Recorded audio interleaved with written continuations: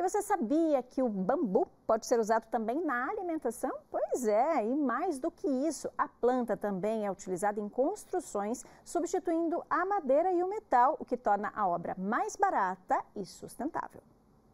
De diferentes cores, tamanhos e tipos de crescimento, o bambu é utilizado há mais de 5 mil anos.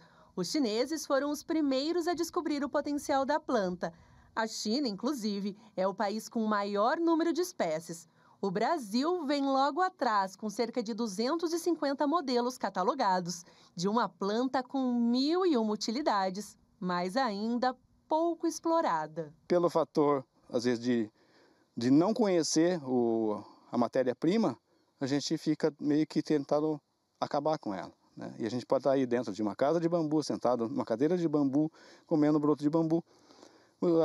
Agora, 2009, foi descoberto também a farinha do bambu, né? que dá para fazer pão, bolacha, biscoito, macarrão, sem glúten. Resistente, abundante e de rápido crescimento, o bambu pode ser utilizado em diversas construções, tornando a obra mais barata e sustentável. A estação de pesquisa do Instituto de Desenvolvimento Rural do Paraná funciona como uma vitrine. Aqui, os agricultores podem conhecer as diferentes formas de utilizar essa planta. O bambu pode ocupar o lugar do metal na construção de estufas, por exemplo. Nesse caso, a obra, de acordo com um técnico do IDR Paraná, custaria 20% do valor de uma estrutura convencional.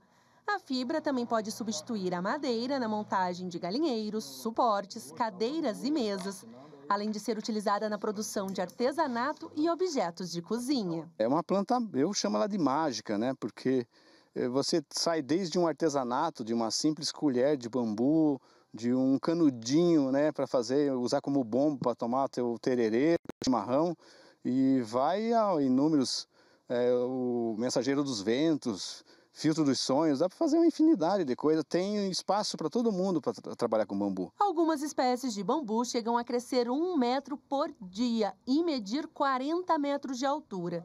Se bem cultivadas, produzem por mais de 30 anos sem necessidade de replantio. Com tudo isso, o que o IDR espera é que cada vez mais agricultores conheçam o potencial dessa planta que pode trazer benefícios econômicos, sociais e ambientais para suas propriedades. Só aqui onde a gente está, o vento não está pegando direto, então ela já serve como barreira de proteção, né? É, a gente também fala para os agricultores estar tá utilizando ele como barreira para contenção de deriva de veneno, de uma infinidade de coisas, né? E às vezes você tem um vento mais predominante na propriedade, então fazer uma barreira com ele. Aqui a gente está do lado de uma espécie bambusa oldame, que é uma excelente espécie, ela é bem retilínea, né? E consegue aguentar aí 15 graus negativo, é o que mais se saiu bem na nossa região aqui, que é uma região bem fria, né?